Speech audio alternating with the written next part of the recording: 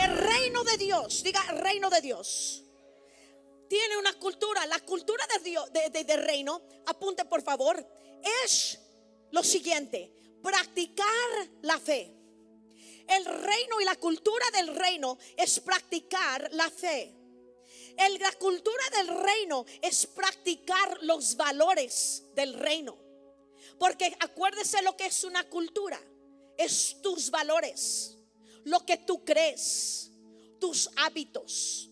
No me digas, enséñame con tus acciones. Porque allí vamos a ver si de veras lo crees. En medio de la batalla, de veras crees.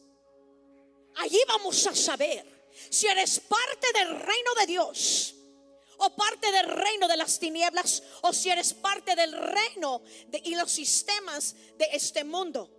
La cultura del reino es practicar la fe, practicar los valores del reino, practicar, apunte, la palabra de Dios.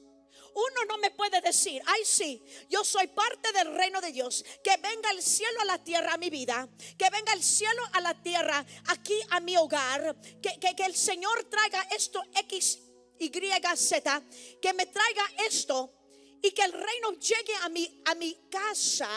Oh my God, mira lo que dice la palabra de Dios. Si yo echo fuera demonio con el dedo de Dios, ha llegado el reino de Dios. Entonces, si él llega el reino a tu casa, todo chamuco se tiene que ir. No, se tiene que ir. Porque llegó el reino de Dios. Cuando la Biblia llegaba el reino, todo demonio se va, se iba. ¿Por qué? Porque el reino de Dios establece liberación. So, la cultura del reino es practicar la fe, practicar los valores del reino y practicar la palabra de Dios. Jesucristo practicó la palabra de Dios. Dice que Jesucristo se hizo, el verbo se hizo carne.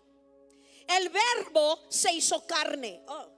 Esta palabra se tiene que hacer carne el reino y la cultura del reino es la palabra que se les predica cada semana está siendo verbo en tu vida.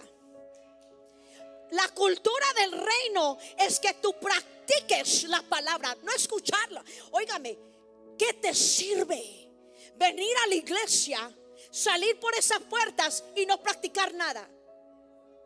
Estás practicando una cultura. ¿Y cuál cultura vas a practicar? Porque el reino de Dios, su cultura, es practicar la palabra de Dios. Jesucristo practicaba la palabra de Dios. La palabra, el verbo, se hizo carne. ¿Y qué pasó? Jesucristo llegó a la tierra y trajo la cultura del reino donde quiera que él iba, a la tierra. Él tenía la cultura del reino porque porque él practicaba la oración. Él practicaba la adoración. Él practicaba la obediencia. Él practicaba la cultura del reino de Dios. ¿Y qué hizo? Trajo el cielo a la tierra. Trajo el cielo y donde quiera que iba Jesucristo, amado mío, resucitaban al muerto. ¿Por qué? Porque él cargaba la cultura del reino de Dios. Y donde quiera que él iba, había milagros, sanidades, resucitaciones. ¿Por qué? Porque él era el verbo que se hizo carne. Porque él practicaba todo lo que el Señor le enseñaba. Eso dijo Jesucristo. Él dijo, yo no hago nada sin que el Padre me diga lo que yo haga. Yo solamente escucho a mi Padre porque yo no pertenezco a este mundo, my God. Yo pertenezco al reino del cielo, al reino. Por eso Él podía traer el cielo a la tierra porque Él practicaba la palabra. Él se comía la palabra. Él era la, la palabra. Cuando tú escuchas la palabra, ¿se hace carne o se te olvida? Si se te olvida, vete a YouTube y escúchala otra vez. ¿Hasta qué? Hasta que se te meta. Hasta que te cambie. Hasta que sea parte de ti. Si quieres, oh. Mire, amado mío, si vamos a entrar al reino de Dios, tú tienes que practicarlo. No te queda otra, tienes que practicar. ¿Y sabes cómo ocurre en nuestra vida? No hay otra manera sin la gracia y el Espíritu Santo a través de la gracia de Dios me ayuda a entrar a esta cultura.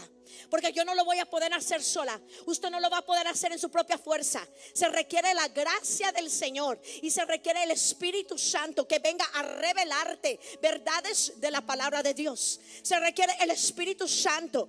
Así que si el Espíritu Santo, mira, la cultura, de cultura, es practicar lo que tú crees. Eso es. Cultura, practicar lo que yo creo practicar lo que yo creo. Y los tres enemigos para jalarte de allí, para que tú no busques el reino, para que tú no tengas la costumbre y los hábitos y los estilos de vida y los valores del reino del cielo, los tres enemigos va a ser el reino de las tinieblas, el reino del infierno. Dos, va a ser los sistemas de este mundo. Y tercero, ser tu carne. Esos tres te van a jalar para que tú no vivas la cultura del reino de Dios. Y por eso tenemos que hacer guerra espiritual, amado mío. Porque tú tienes que saber. Por eso dice, el reino de Dios que sufre. ¿Y quién lo va a arrebatar? El valiente lo va a arrebatar. ¿Qué quiere decir eso? Solamente el valiente lo puede arrebatar. Porque el reino de Dios está sufriendo violencia. Porque el diablo te la va a pelear. Porque sabe que en el momento que tú estás practicando los valores, tú vas a traer una cultura a tu casa. Tú vas a traer, oh my God, una cultura a, la ciudad. Tú estás trayendo una cultura a la, a la, nación. Tú estás trayendo una cultura donde quiera que tú vayas. Tú estás trayendo una cultura a tu familia. Y el diablo te la va a pelear. Porque él sabe en el momento que entra el reino de Dios donde quiera, amado mío. No hay demonio que te puedas. No hay demonio no hay demonio. No hay diablo, no hay enfermedad, no hay nada, no hay nada que te pueda, porque donde está el reino de Dios, ahí está el cielo. Y el cielo tiene sanidad. En el cielo, allí hay prosperidad. En el cielo, allí hay riqueza. En el cielo hay paz. En el cielo hay gozo. Véngase su reino.